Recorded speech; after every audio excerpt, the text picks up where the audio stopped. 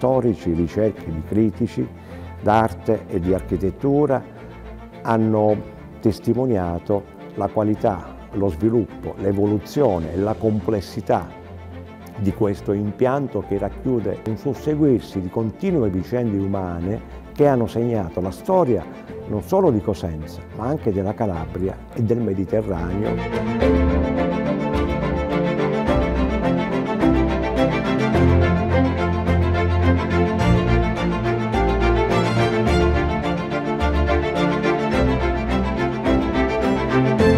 Quando mi è stato detto di Cosenza io non conoscevo nulla.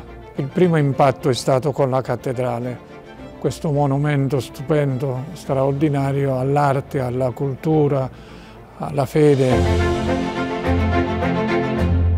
La storia è molto complessa per un motivo semplice. Si è ritenuto che la cattedrale fosse stata impiantata sul colle Pancrazio.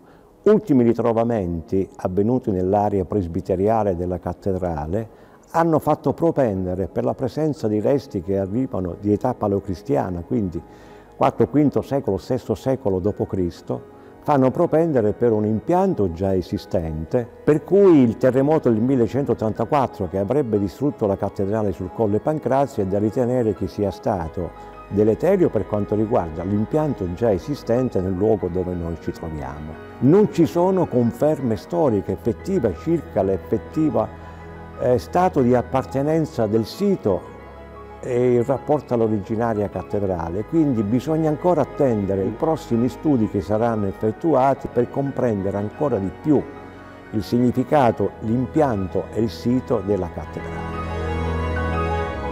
Questa cattedrale è nata come primo esempio di eh, gotico cistercense e difatti quando è stata consacrata era il segretario di Gioacchino da Fiore, Luca Campano, che, fatto, eh, che era vescovo e quindi ha, ha, invitato tutti gli altri.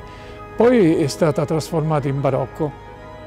C'è stato un periodo in cui il barocco, marmi, eccetera, e hanno cancellato tante immagini, tante tracce di questo eh, passaggio che adesso sta ritornando man mano attraverso piccoli segni, però sta tornando e, come abbiamo qui proprio sotto questi, questi vuoti qui abbiamo l'antica chiesa, l'antica cattedrale.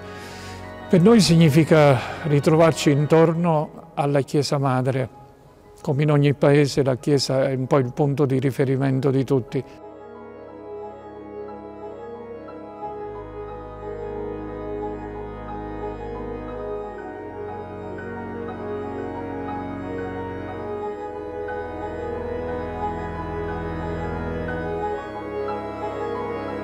Gli apparati neoclassici, con compendi barocchi trasformati e modificati, non hanno fatto altro che segnare quello che era un passaggio ideologico di una società che aveva bisogno di autoreferenziarsi.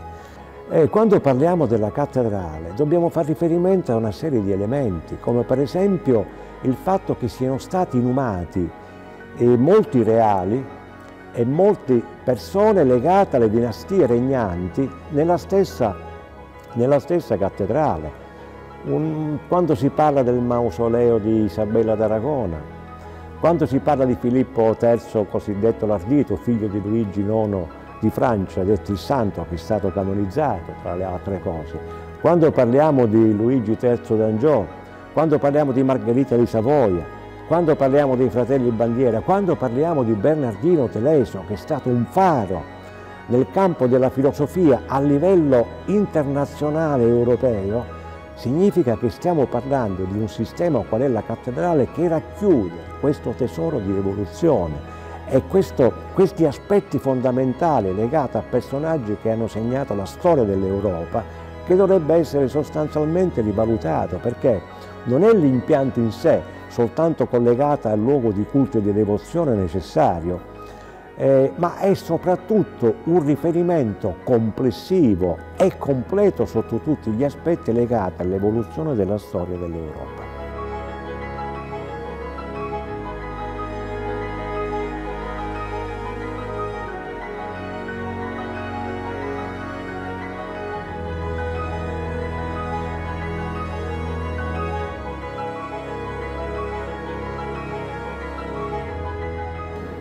Devo dire con molto piacere che ci sono eh, eminenti studiosi architetti della soprintendenza dell'Università della Calabria che stanno procedendo ad eseguire una serie di analisi e di valutazione complessive per rimediare a quelle che possono essere le necessità di un impianto che ha otto secoli e ancora riusciamo a goderne e a fruirne la qualità e la composizione.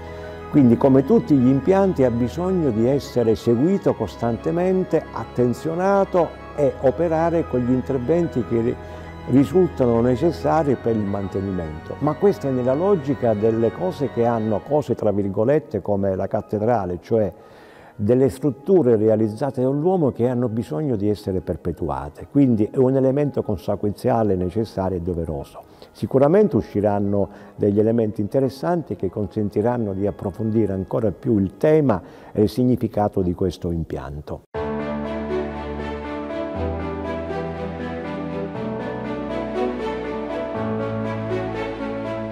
Si dice che le sorprese non finiscono mai.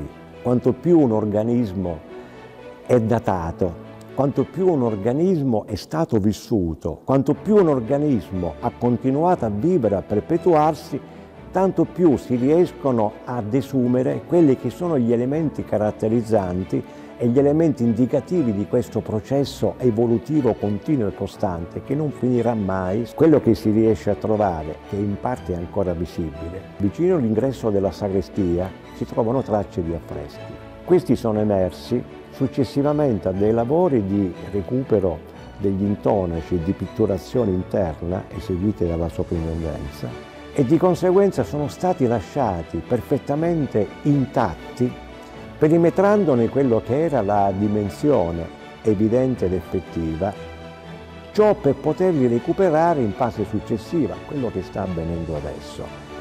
Questa è una sorpresa bellissima perché riguarda degli elementi artistici di età medievale che potranno dare ancora più degli elementi di valutazione e di conoscenza sull'impianto, non dico originari, ma comunque in fase evolutiva.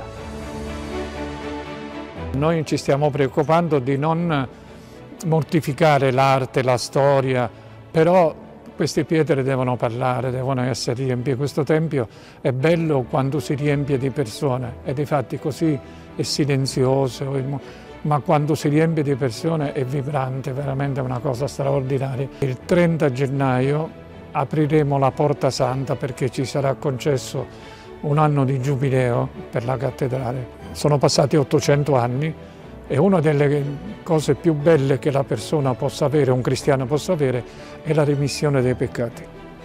E anche la cancellazione dei peccati attraverso la misericordia di Dio.